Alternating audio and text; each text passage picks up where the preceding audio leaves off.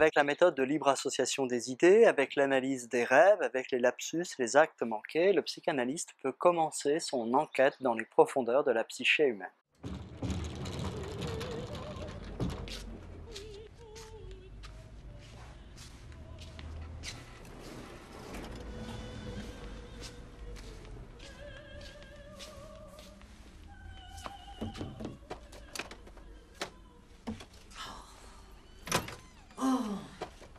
Et c'est l'objet de la quatrième leçon.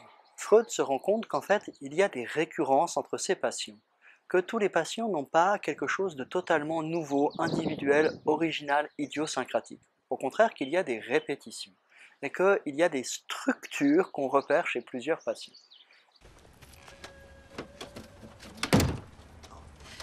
Excusez-moi. Il fait une chaleur épouvantable, je n'arrive pas à faire fonctionner cet imbécile de climatiseur. J'ai signé les papiers. Oula, ouh. Comment vous vous sentez?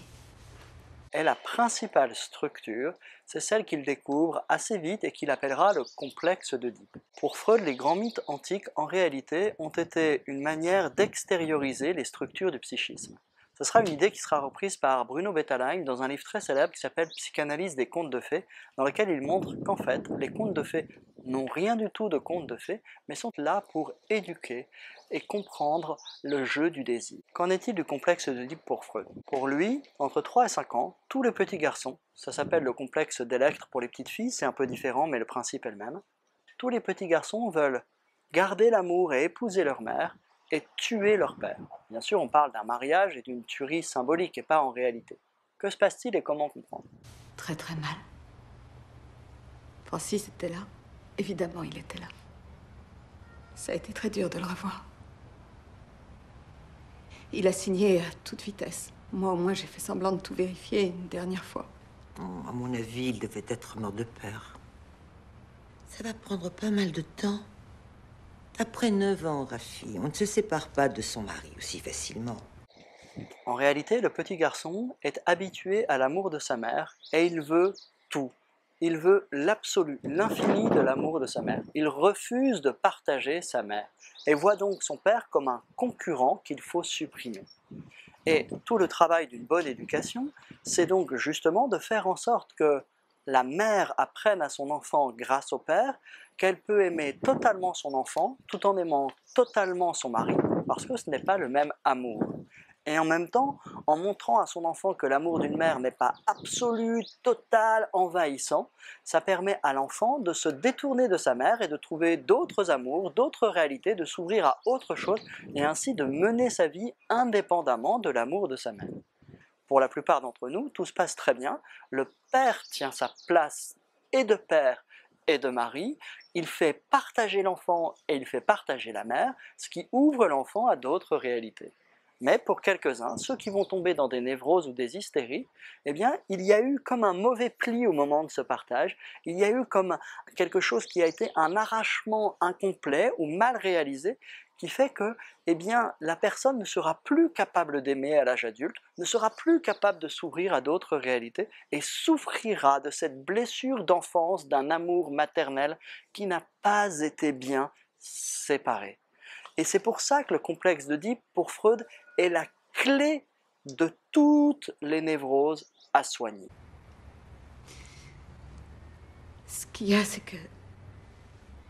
Je suis divorcée depuis quoi? Cinq minutes? Et. D'un seul coup, je suis. Je suis en train de penser sérieusement à. un bébé. Tous nous sommes passés par cette étape. Pour la plupart d'entre nous, tout s'est bien passé. Les relations dans la famille, les relations avec nos parents ont fait que de cet amour infini que nous avions pour notre mère, ou pour les petites filles pour leur père, eh bien, comme nous avons dû partager, nous avons appris à nous séparer, à nous ouvrir à d'autres objets.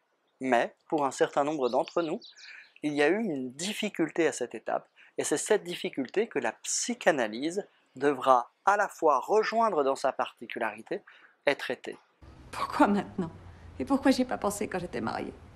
Eh bien, peut-être d'une certaine façon, vous saviez qu'il ne serait pas un bon père. Alors vous vous êtes protégé dans ce sens. Et, c'est une bonne chose. Oh, Rafi, vous revenez enfin à la vie. Aujourd'hui, vous avez envie de toutes les choses auxquelles vous aviez renoncé et que vous pouviez avoir. C'est une excellente direction à prendre. Quant au bébé, eh bien, il arrivera quand ce sera le moment. Mais soyez concentrés sur l'instant.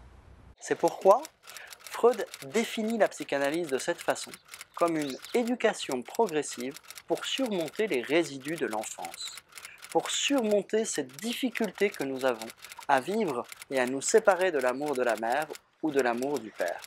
C'est ça l'interprétation du vrai complexe de Deep. Pour vivre, il faut se séparer de son père et de sa mère. Et ça, ça doit bien se faire.